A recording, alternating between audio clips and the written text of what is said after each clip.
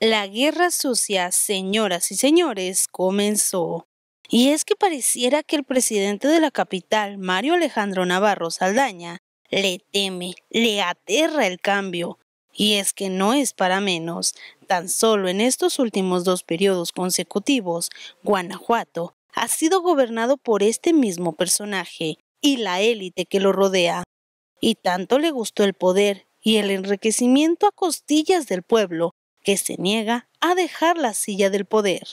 Navarro ha sido de todo en la política, desde titular de la Dirección de Desarrollo Económico, presidente del Comité Directivo Municipal de PAN, diputado y por dos años consecutivos presidente municipal de la capital del estado de Guanajuato.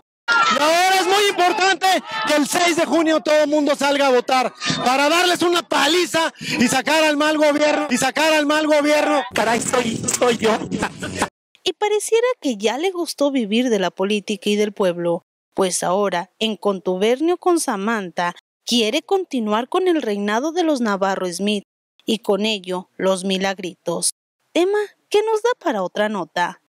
Alejandro Navarro hace amenazas disfrazadas de promesas.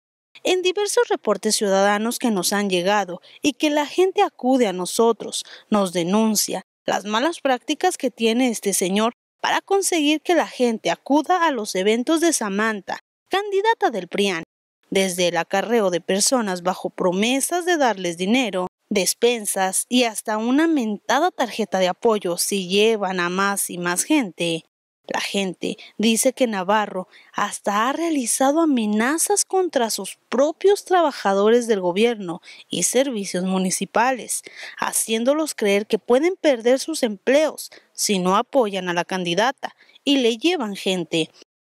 Así también los ciudadanos nos han denunciado cómo los comerciantes han sido intimidados con que les clausurarán sus negocios, los multarán o les irá mal si los ven apoyando a los de Morena. Amenazas que claramente no pueden cumplir, pero sí logran engañar a la gente inocente que les cree.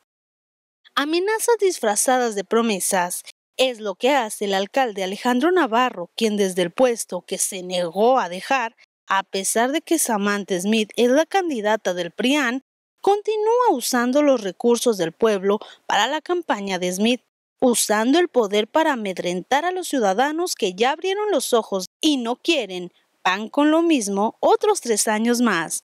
Pues incluso usan a quienes se decían fieles al partido de la 4T para ir casa por casa a tratar de meterles la idea que están mejor con el PRIAN que con el señor Medrano y con Morena.